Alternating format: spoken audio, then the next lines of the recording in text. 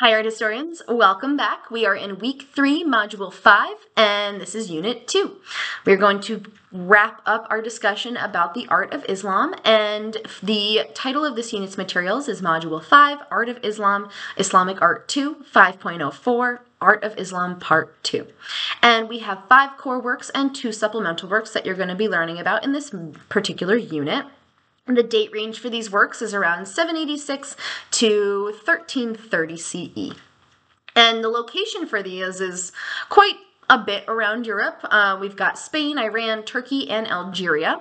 And your architectural sites include the Great Mosque of Cordoba, the Great Mosque of Isfahan, and the Great Mosque of uh, Tlemcen.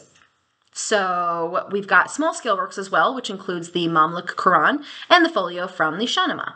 The supplemental works includes the Ottoman prayer carpet with triple arch design and the Hagia Sophia Mosque. Now we've talked about a couple of these previously in regards to your supplemental works, so those might just be a review for you if you'd get the chance to check them out, which I always encourage. So when we think about the art of Islam in regards to the second half, we want to explore some major mosques, and two of those are my favorites, which is Cordoba and Isfahan. Um, Cordoba, if you look at the top of it, to me, kind of seems like corrugated cardboard. It's got this like chevron mountain range type top to it. So I remember Cordoba cardboard. Um, and then we also have the Mosque of Isfahan, which looks like little mini domes all over the top of it, and I think it looks like bubble wrap. So Cordoba looks like cardboard, Isfahan looks like bubble wrap. Um, when we think about Cordoba, this is a really important site. Um, it used to be a completely different building before the Umayyad dynasty came in and converted it into a mosque. They were pretty upset after getting kicked out of their capital city and area, so they were going to Spain to try to revive their entire dynasty, those Umayyads. Um, and so that is what we're seeing for Cordoba. And in regards to Isfahan, this is a really interesting mosque built right into the center of the city. So Cordoba is a hypostyle mosque where we have a general large worship area filled to the brim with columns to support the ceiling above it. Cordoba is also known for its like candy cane stripes. Then when we look at Isfahan, this is a mosque that is a very central courtyard and it has four niches, one on each straightaway of that central square rectangular courtyard. So this is called a four Iwan mosque and Iwan is what those huge niches are called.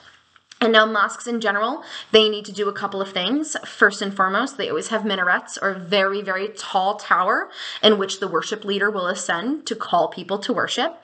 They also need to be able to have a covered area or space for all people to come in and worship and be protected from the elements.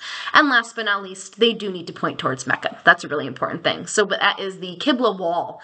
And that wall usually has a podium or a pulpit for the religious worship leader to stand to kind of direct prayer and worship in general, and that usually indicates where the Qibla wall is, in addition to a separate smaller indentation that is also an indication of that.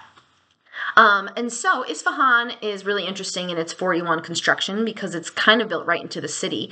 And there's really not too much of a distinction um, between the commercial and city space and the religious space, except for this large central courtyard. Um, the last thing that we're going to be thinking about in regards to the end and wrap up, uh, wrap up of our Islamic art is the Shahnameh, which is the Persian Book of Kings. So you're going to see a folio from that as well. And I hope you enjoy. We are going to move right along into the conclusion of the Middle Ages in Europe with the medieval world in Romanesque and Gothic art. So until then, bye.